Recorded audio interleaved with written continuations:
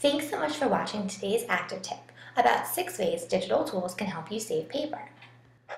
When you import a PDF, you're creating a large version of something that everyone can work on together and see. And this can save you paper because you don't need to make copies of it for every person if they don't need to take it home. To import a PDF, you're going to go to File, Import, PDF.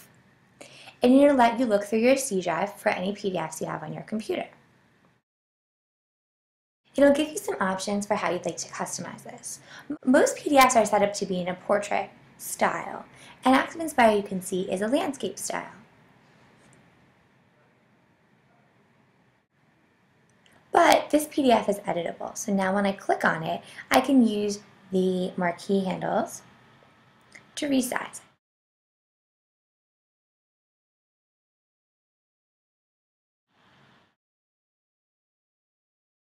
And I can use the page extender to scroll down. To get to the page extender, I'm going to click on View, Page Extender.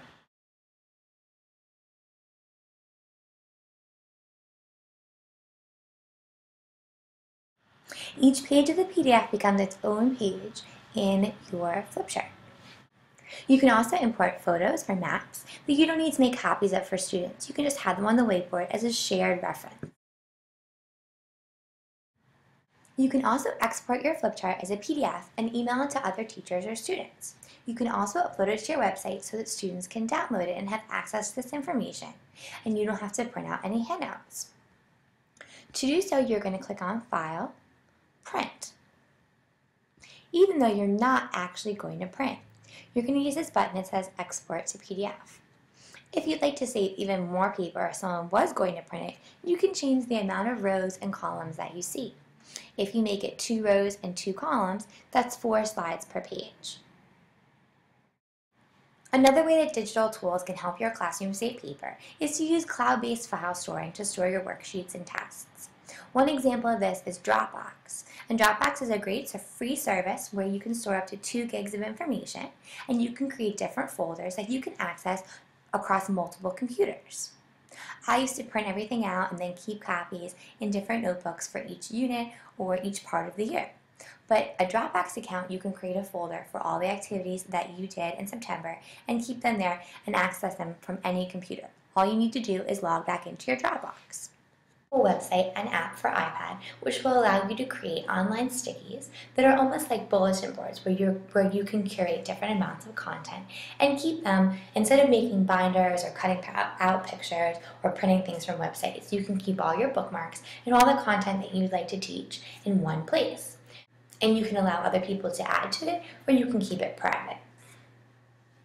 One of the things that requires a lot of paper is quizzes and tests. I have two different ideas how you can use digital tools to help you save paper in making quizzes and tests. The first one is your learner response devices. Learner response devices are an add-on that you can get to go with your ActivClassroom. There's ActivExpressions and ActiVotes, and you can see they allow you to do multiple choice, text input, Likert scale, numeric input, sort in order, and true You can create a quiz by clicking Insert, Questions. Now I can see my question manager, which allows me to add new questions, set the question type and the level and the correct answers. I can also export it as a PDF or to Excel. So let's take a look at adding a new question. I can add a new question right here, or I can add a new question up here.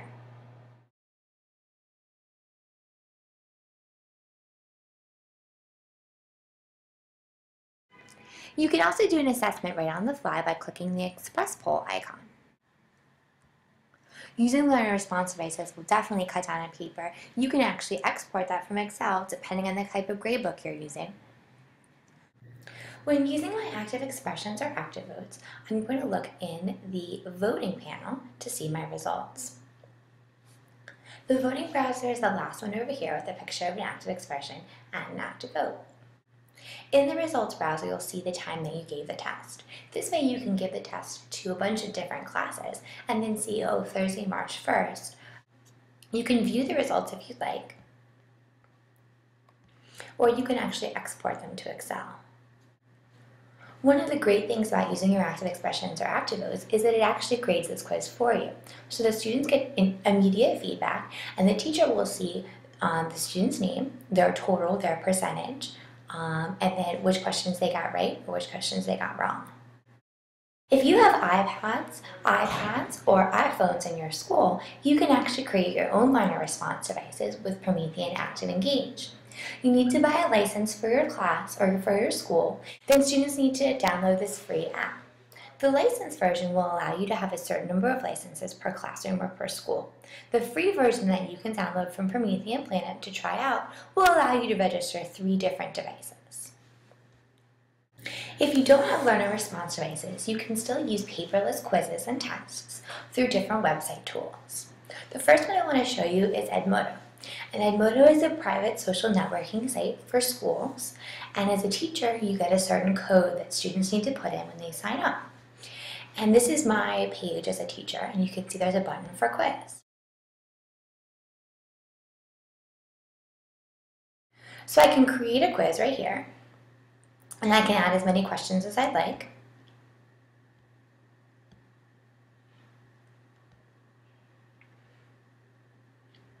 And you can add what the correct answer will be, and, then you can assign this to different students. You can actually make a bunch of different quizzes with the same material and then assign them to students to make differentiation easier. Here's a quiz that I assigned to a student and they turned in. So I can see the answer breakdown, as well as if I had multiple students take this, what the high scores and low scores were, and a breakdown across the class. When the students log in, they would get the questions, and as they answered them at the end, it would tell them how many they got right, and they could review their wrong answers.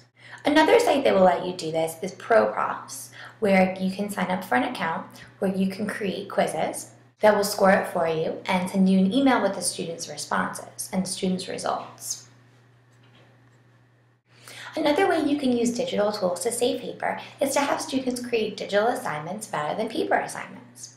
For example, you can create digital book reports, which could be book trailers, where you take a video camera or a screencasting tool and create a video trailer for a book.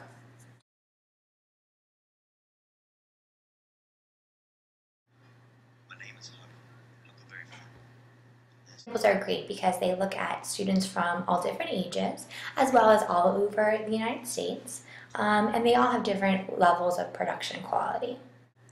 In terms of math problems, there are many different interactive whiteboard apps for iPad. Specifically, EduCreations is free, and it'll allow you to record audio as well as annotations.